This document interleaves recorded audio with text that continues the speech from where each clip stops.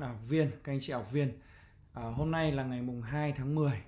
Ngày mùng 2 tháng 10 và bây giờ là 2 giờ chiều ngày mùng 2 tháng 10. À, tôi làm cái video này hướng dẫn các cái bước à, chạy quảng cáo với trình quản lý quảng cáo của TikTok. Vâng, và để thuận tiện cho mọi người thì tôi sẽ chuyển sang tiếng Việt. Tôi sẽ chuyển sang tiếng Việt. Thế đầu tiên ấy, mọi người sẽ truy cập vào cái địa chỉ là ads.tiktok.com ads.tiktok.com để mà đăng nhập hoặc là tạo tài khoản nếu mà chưa có có rồi thì đăng nhập vào. Vào trình quản lý quảng cáo của TikTok ở trên ờ, trình duyệt cũng như là trên máy tính. Thế các bạn cũng có thể chạy quảng cáo ở trên điện thoại di động nha. Thì trong cái video này thì tôi hướng dẫn các bước chạy quảng cáo với trình quản lý quảng cáo của TikTok trên trình duyệt và máy tính trình duyệt và máy tính. Ok. Thế thì ở đây ấy, là ờ, tôi đang nói với các anh chị và các bạn là để hướng dẫn một cái chiến dịch chạy quảng cáo chuyển đổi chạy quảng cáo chuyển đổi thế thì ở đây thì chúng ta sẽ đầu tiên là bấm vào cái nút tạo quảng cáo màu xanh. Tạo quảng cáo màu xanh. Và chúng ta chọn đến cái uh, phần chiến dịch là lượt chuyển đổi trên trang web lượt chuyển đổi trên trang web. Thế thì uh, tại sao mình lại chọn chạy cái chiến dịch này? Uh, thứ nhất là khi mà mình có một cái website thương mại điện tử. Thứ hai là mình có thể có một landing page hoặc là cái trang web bán hàng thương mại điện tử có giỏ hàng và các cái hàng hóa mà chúng ta bán có thể là những hàng hóa vật lý. Các hàng hóa vật lý thí dụ như là điện thoại di động iPhone 16 chẳng hạn. Đấy, hay là à, những cái thiết bị uh, như thế này. À, đây là một cái thiết bị uh, micro chẳng hạn. Đó thì hàng hóa vật lý mà chúng ta um, có thể là uh, đưa khách hàng vào giỏ hàng hoặc là theo dõi được khách hàng cái lượt chuyển đổi trên uh, trang website hoặc các dịch vụ ví dụ như là dịch vụ đặt vé máy bay uh, dịch vụ du lịch cũng rất là tốt đúng không ạ? Tóm lại là phải có giỏ hàng và phải đo lường được chuyển đổi. Thế thế sau đó thì muốn đo lường được uh, lượt chuyển đổi trên trang web khi mà chạy quảng cáo TikTok Ads thì uh, các anh chị và các bạn sẽ cần phải gắn một cái mã theo dõi pixel của TikTok. Và uh, trên Facebook cũng được gọi là pixel thì trên TikTok nó cũng gọi là pixel đây là một cái đoạn mã theo dõi thì mình phải copy cái mã theo dõi pixel TikTok này mình đưa vào trang web cái trang mà mình muốn chạy đến thì nó mới có dữ liệu nó đo chuyển đổi cho mình được. Được chưa ạ?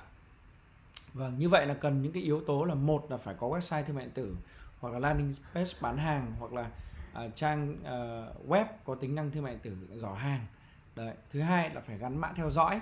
Và thứ ba thì đây thực hiện cái chiến dịch uh, của tiktok trình quản lý quảng cáo trên tiktok như thế này. Và chúng ta sẽ bấm tiếp tục.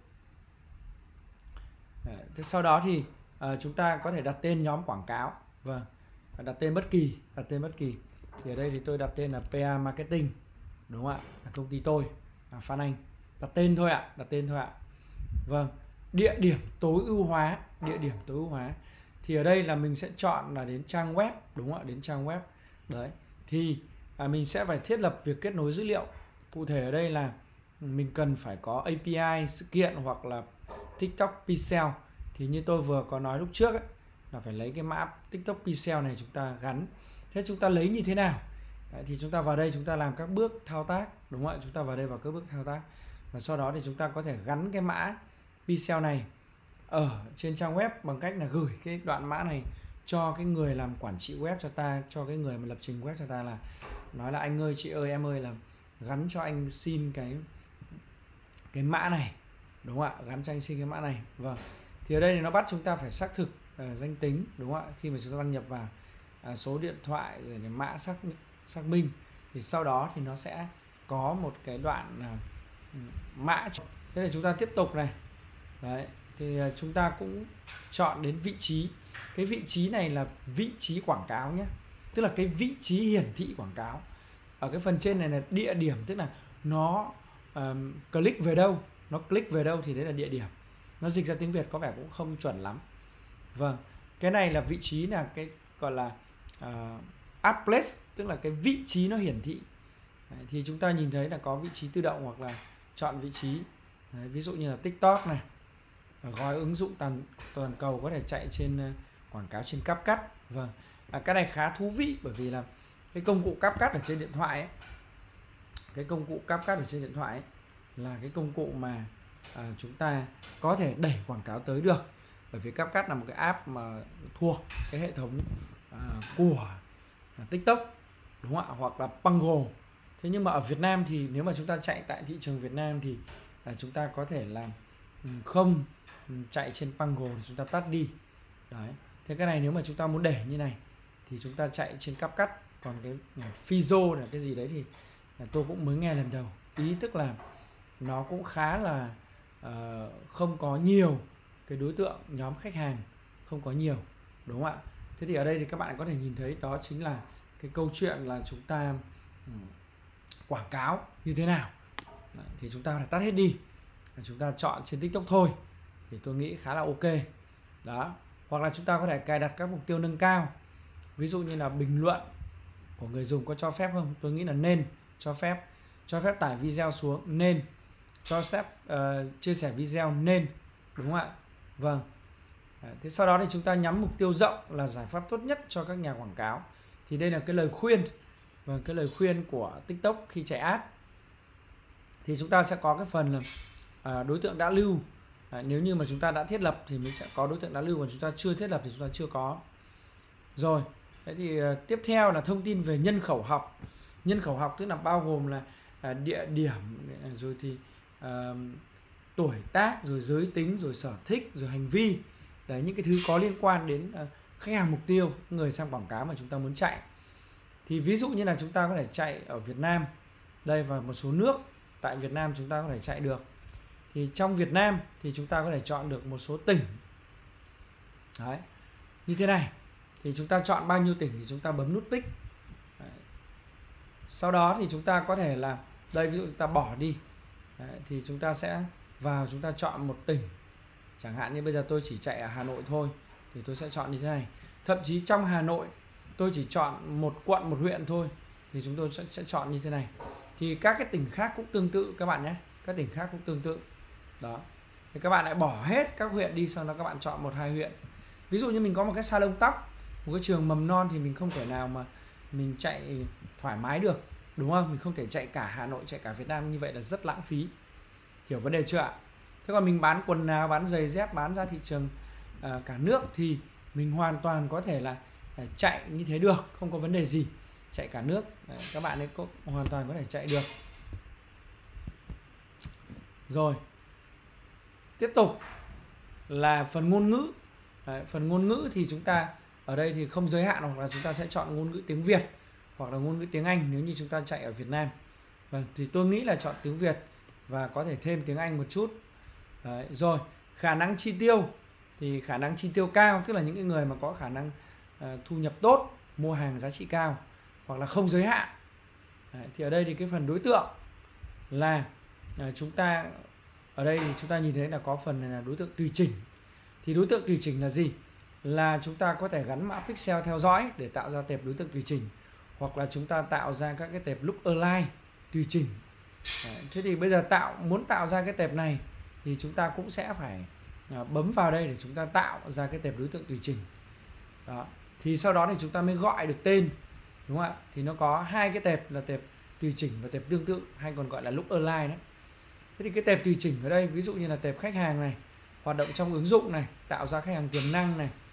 Đấy rồi thì lưu lượng truy cập vào trang web này đấy, thì chúng ta có thể chọn được. Chúng ta chọn sau đó thì chúng ta lấy dữ liệu và chúng ta tạo ra dữ liệu chúng ta đặt tên. Thì khi chúng ta đặt tên xong thì ở cái ô này nó sẽ xuất hiện cái tệp đó. Thế còn ở đây thì hầu như chúng ta đang chạy mới. Chúng ta nhắm chọn mới hoàn toàn.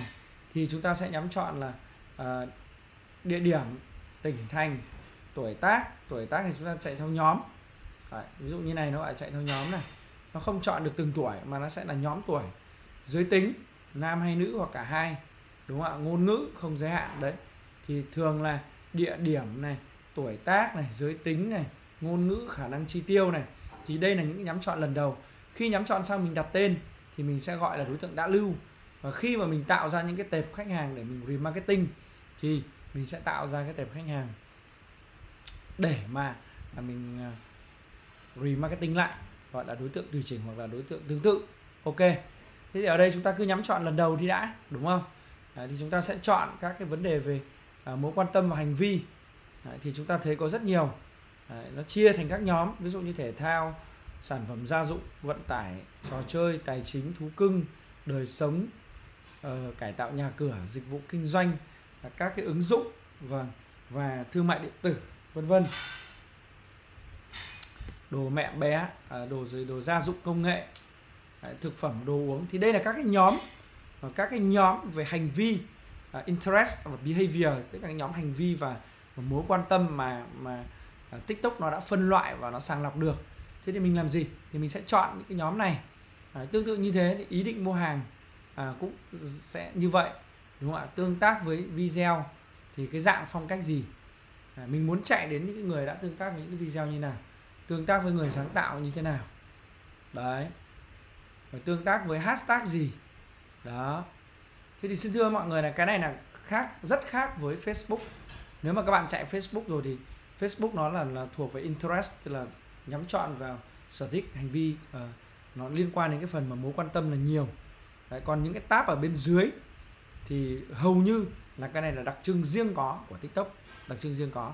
Thì mình có thể chọn một hoặc là một số để mình mở rộng cái tệp quy mô của mình lên.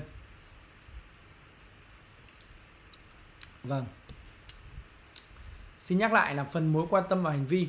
Thì chúng ta có mối quan tâm có ý định mua hàng có tương tác với video tương tác với người sáng tạo và tương tác với hashtag. À, thì trong đó thì có những cái mục như thế này. À, thì chúng ta chọn đúng không ạ? Chúng ta chọn. Thì tùy vào sản phẩm tùy vào dịch vụ chúng ta chạy quảng cáo. Thì chúng ta sẽ chọn làm sao cho nó cái phần mối quan tâm và hành vi là phù hợp nhất là uh, tốt nhất cho chúng ta rồi thế thì ngân sách hàng ngày của TikTok hiện nay thì quy định mức tối thiểu là 200.000 một ngày. Đấy, 200.000 một ngày. Đấy, thế thì ví dụ như chúng ta có thể đặt 200.000 vào đây. Đấy, 200.000 thế nếu mà chúng ta chạy mà ngân sách hàng ngày, chọn đời ví dụ như là 3 ngày thì chúng ta có thể chọn 600 nghìn 10 ngày chọn 2 triệu. Nhưng mà à, thằng TikTok thì nó quy định là không thấp hơn 200 nghìn và tài khoản quảng cáo của TikTok là tài khoản phải nạp tiền vào trước. Phải nạp tiền vào trước. Tức là chúng ta phải nạp như là thẻ cao điện thoại ấy. thì đến lúc mà um, chạy thì mới có tiền nó mới cho chạy nhá. Về lịch trình thì chúng ta có thể đặt thời gian bắt đầu thời gian uh, kết thúc. Đấy ví dụ như đây là ngày mùng 10 tháng 2 à ngày mùng 2 tháng 10 đấy và lúc này ngày mùng 2 tháng 10 đây lúc này đang là à, 13 giờ 57 phút một lúc tôi bắt đầu. Và bây giờ là cũng đã nói được một lúc rồi. Đấy, thì mình có thể chọn lịch trình ngày bắt đầu ngày kết thúc. Đó.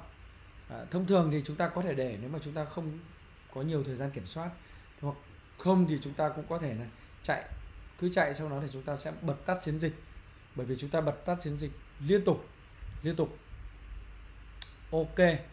Đấy, mục tiêu uh, tối ưu hóa thì ở đây là chúng ta chọn là chuyển đổi chuyển đổi nhé thì cái chuyển đổi này nó sẽ đo lường được những cái bước mà khách hàng thao tác ở trong website. Thế còn nếu mà chúng ta chỉ chọn lượt nhấp thôi chọn lượt nhấp thôi cũng được thì cái mức này nó không sâu như cái mức chuyển đổi. Đấy thì nó chỉ click vào web là nó sẽ dừng lại nó không theo dõi sâu hơn và nó không đưa khách hàng đến cái bước tiếp theo. Đấy, thì cái này là cái à, hầu như Facebook hay Google thì đều có. Nó người ta gọi là chạy dạng là conversion rate tức là chạy tăng cái tỷ lệ chuyển đổi lên là vào mua hàng hay là vào cho hàng vào giỏ vào thanh toán kiểu kiểu như thế. Rồi đó. Thế sau đó thì chúng ta có thể đặt là CPA mục tiêu tức là cost per action ấy, tức là cái giá mình sẽ sẵn sàng chi trả cái mức tối đa cho một cái lượt chuyển đổi là bao nhiêu. Thì đây là mức tối đa mình đặt vào nhé Đấy, còn có thể là mình không đặt thì là nó là giá thầu tự động. Đấy, thí dụ như mình đặt ở đây là 100 ngàn một chuyển đổi thế bây giờ mình sẽ phải định nghĩa mình sẽ phải xác định ra là một chuyển đổi là cái gì. Nếu như một chuyển đổi là mua một chiếc xe hơi thì 100 ngàn là quá rẻ. Một chuyển đổi là mua một chiếc iPhone 16 thì vẫn là quá rẻ. Thế nhưng mà một chuyển đổi là bán à, một ly trà sữa 50 nghìn thì lại là quá đắt đúng không? Thì chúng ta sẽ một là không thiết lập con số ở đây hai là thiết lập một con số để à, tăng lên từ từ. Đây là mức cao nhất mình sẵn sàng chi trả và có nên đặt hay không? Đặt thì cái giá thầu nó sẽ không vượt qua được. Còn không đặt thì nó sẽ là tối ưu à, giá thầu và nó có thể là bất kỳ có thể vượt qua. À, nhưng thông thường thì hiệu suất của quảng cáo kém nó vẫn có thể vượt qua cái giá thầu đó. Nó không có nhiều cái cái tác dụng lớn. Cài đặt ghi nhận và những cái thông số về sự kiện đây. Thì chúng ta có thể nhìn thấy là ví dụ như là sự kiện thanh toán à, loại hình phân phối. À, đây là chúng ta sẽ chọn phân phối chuẩn và trong một số trường hợp thì à, chúng ta có thể chọn được phân phối tăng tốc. Tức là trong một thời gian rất ngắn nó, nó tiêu hết cái số tiền ngay. Nó tiêu hết số tiền ngay. Được chưa ạ? rồi đây là các bước nhé. Đây là các bước. Đấy. tiếp tục. Vâng thì chỗ này mà mình chúng ta uh, không kích hoạt thì chúng ta sẽ không thể tiếp tục được. Đấy thì chúng ta sẽ vào đây. Đúng không ạ? Chúng ta vào cái phần là um, quản lý. Đấy, chúng ta quản lý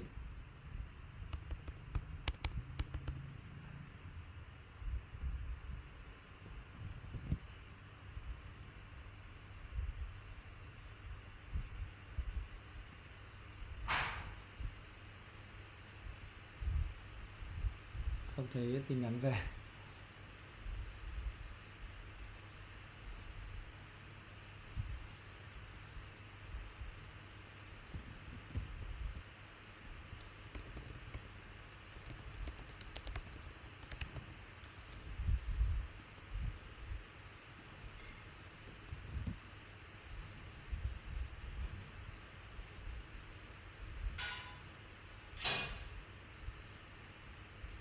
Vâng không thấy ờ, đây à.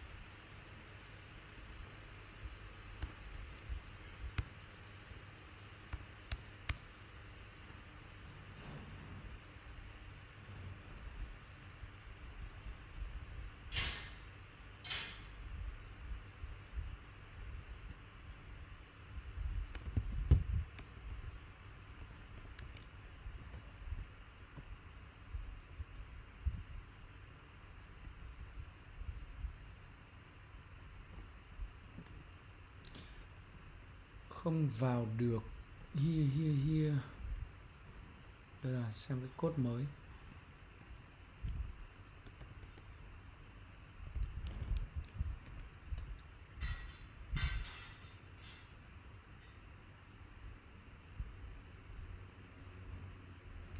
Cái tính bảo mật của nó khá cao. Thế thì ờ, đấy, ví dụ như chúng ta phải điền cái website của chúng ta vào đây. Ví dụ như là uh, pavk này pa marketing.vn đấy. Rồi. Thế sau đó thì chúng ta sẽ đây ví dụ chúng ta thiết lập với u commerce nếu mà chúng ta cài cái dền dùng cái nền tảng này thì đây thì chúng ta sẽ chọn thiết lập thủ công đi. Đúng không ạ? Đấy. Thì nó sẽ có mã pixel đây.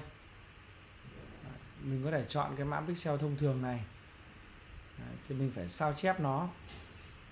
Rồi hoặc không thì mình chọn cái mã này đi gồm có pixel và APS API đặt tên mã pixel là PA marketing. Đây thì lúc này mình sẽ copy cái đoạn này. Mình vào cái cái phần uh, đây này giữa các cái thẻ head trong trang web. À, thì sau đó mình gắn nó vào website của mình. À, mình gắn nó vào website của mình. Ok. Thì khi mình gắn được rồi thì mình qua đây mình chạy thì nó mới cho mình đi theo cái bước tiếp theo này. Còn nếu không ấy, thì nó sẽ không cho mình đi theo cái, cái bước tiếp theo này nữa. Đó vì mình không chạy chuyển đổi được. Đúng không? Thì sau đó nhé để tôi làm tạm tôi làm bước tiếp theo cho mình. Thông thường thì mọi người không có web hoặc là có web mà không gắn mã pixel thì mình không chạy được cái chiến dịch này đâu. Chiến dịch này rất đặc biệt đúng không ạ? Rất đặc biệt. Thế, thế sau đó thì chúng ta có thể chọn là à, có thể chạy quảng cáo dạng Spark Ad Spark Ad tức là mình sẽ lấy video có sẵn trên kênh TikTok cá nhân của mình. Mình kết nối với cái kênh TikTok cá nhân. Còn nếu không ấy, mình không chạy Spark Ad ấy, thì mình sẽ mình không chạy Spark Ad ấy, thì mình sẽ sẽ um, gọi là uh, chạy trực tiếp. Mình sẽ chạy trực tiếp với cái video các thứ mình up lên đây. Ví dụ như là đây video đơn mình up một cái video lên. Đó mình up một cái video lên sau đó thì có thể mình ờ, sử dụng dạng hình ảnh xoay vòng. Đấy, thì mình đây mình có rồi hoặc là không thì mình chọn từ thư viện. Đấy, thì hôm nọ tôi đã tải sẵn một cái video. Giả sử như mình muốn chạy cái video này. Đấy, sau khi mà chạy cái video này xong click xong thì nó sẽ nó sẽ đưa về website của mình. Đấy, nó có thể đưa về website của mình. Thì đấy là cái cách mà chúng ta sẽ chạy à, vào cái cái trang um, pixel và tăng tỷ lệ chuyển đổi tăng tỷ lệ chuyển đổi. Đấy. Thì chúng ta sẽ đưa uh, cái website của chúng ta cũng như các cái mã theo dõi ở phía dưới này. Tất nhiên là cái giao diện nó đang không đúng cái giao diện phần này đang không đúng bởi vì cái giao diện này tôi đang chạy đến cái phần là trang tức thì của tiktok. Nó gọi là tiktok canvas trang tức thì. Thì lúc này thì bây giờ mình phải tạo ra trang tức thì. Nó giống như là một cái trang landing page mà mà mình sử dụng sẵn của tiktok mà không cần đến website ấy. Đấy, nó là cái form như thế này. Đấy, thì chúng ta có thể tạo ra. Đây là sử dụng trang tích thì nhé còn tôi đang hướng dẫn lúc đầu là chạy vào website PA Marketing. Thế nhưng mà bây giờ tôi đang lười là chưa muốn copy cái mã này để gắn vào cái web PA Marketing của tôi. Đấy, thì tôi phải đăng nhập vào quyền quản trị. Sau đó thì tôi sẽ dán cái mã này vào. Thì TikTok mới cho tôi chạy dạng chuyển đổi. Ok chưa? Thế còn một cái cách nữa là vẫn chạy chuyển đổi nhưng không dùng website của mình mà dùng trang tức thì của TikTok. Đấy, gọi là TikTok Canvas đây này. Thì chúng ta sẽ nhấp vào đây. Chúng ta tạo cái canvas như này chúng ta chạy. Thì cũng rất là ok được chưa ạ? Thì chúng ta chúng ta chọn một cái trang tức thì và sau đó thì chúng ta phải sửa. Đấy, chúng ta phải sửa cái trang này. Đấy, ví dụ đưa hình ảnh đưa thông tin đưa media các thứ mình lên đây nhá. Thì khi đó nó xem cái video quảng cáo xong nó sẽ nhấp về cái cái cái cái, cái trang này. Và cái trang này nó cho mình đến những cái trải nghiệm đây. Đấy, có hình ảnh này mình thay đi nhé website mình điền vào à, hình văn bản mình mô tả vào đây. Đó rồi thì sản phẩm mình đưa vào đây. À, nó rất là ok. Mọi người có thể chạy cái dạng này là chạy chuyển đổi trên trang tức thì nhé thì cái video sau này tôi sẽ làm một cái video hướng dẫn chi tiết hơn nữa về chạy chuyển đổi. Đây trên trang. Thì nó sẽ nhận như thế này này các bạn ạ. Đây chẳng qua là đây là một cái mẫu có sẵn. Một cái mẫu có sẵn. Thế thế còn mình sẽ sửa thành cái hàng của mình thành cái giá của mình thành cái hình ảnh của mình hết. Đấy, nó gồm có media này có mô tả này có media này có sản phẩm và dịch vụ này. Đấy, thì mình điền điền điền điền thay thay thay thay. Đấy, lời kêu gọi không phải là shop nào nữa đấy, mà nếu có nếu kêu gọi mình muốn đây, ví dụ như tải app này đấy, tải app store này đấy, shop nào đúng không? Rồi màu gì đấy ví dụ như là mình muốn màu đỏ này đấy, thì nó cũng sẽ khác. Đấy kiểu kiểu như thế. Đấy. Đấy, hiển thị con chuột này. Đấy, để làm gì? Để mà mình uh, cho nó nổi bật hơn. Đấy, mục đích là xem trang đích đúng không? Xem trang đích thì trên này mình sẽ phải gắn ở một cái chỗ là mình sẽ gắn trang đích của mình vào đây. Đấy, thì trang đích của mình lúc này có thể không cần gắn mã pixel bởi vì mình đã chạy dạng là uh, tức thì rồi. Thế còn nếu mà mình chạy dạng uh, truy cập vào trang web thì mình mới mới mới um, mình mới uh, gọi là cần đến. Đây ạ mình sẽ quay lại với cái phần chuyển đổi nhé. Thì chúng ta chọn cái lượt chuyển đổi trên trang web chúng ta nhìn thấy đây ạ. Đấy, thì chúng ta tiếp tục này sau đó thì đến đây ấy, nó hỏi mình là bạn muốn chọn địa điểm tối ưu hóa là cái gì là trang web của bạn hay là trang à, tức thì? Thì lúc đầu video này tôi hướng dẫn cho các bạn là trang web. Thì các bạn gặp một vấn đề đấy là mình phải gắn mã pixel của TikTok vào web. Nếu không gắn thì không đi được tiếp. Cho nên mọi người phải có web mà mọi người phải gắn gắn xong mọi người làm tiếp. Thế cũng có một cái cách nữa. Đấy, đấy là mình sẽ chạy dùng thẳng trang tức thì của TikTok thì trang này nó cung cấp sẵn mình chỉ việc sửa thôi. Là ngon lành. Hiểu vấn đề chưa ạ? Và các bạn có thể thử chạy cái này cho tôi nhé ok à, nếu mà các bạn gặp à, những vấn đề gì khó khăn về trợ giúp về về quảng cáo trên tiktok à, rồi thì làm à, kênh hay là đào tạo hay là chạy quảng cáo thuê à, thì các bạn có thể liên hệ với tôi. À, giảng viên Nguyễn Phan Anh tên tôi là Nguyễn Phan Anh giảng viên đại học ạ số điện thoại của tôi là 0989 623 858 khoảng 0989 623 858 Facebook của tôi là facebook.com sược Phan Anh Online hoặc là tìm Nguyễn Phan Anh PA Marketing Đấy. web của tôi là PA Marketing, kênh YouTube của tôi là PA Marketing PA có nghĩa là Phan Anh nhé. vâng xin chào, xin cảm ơn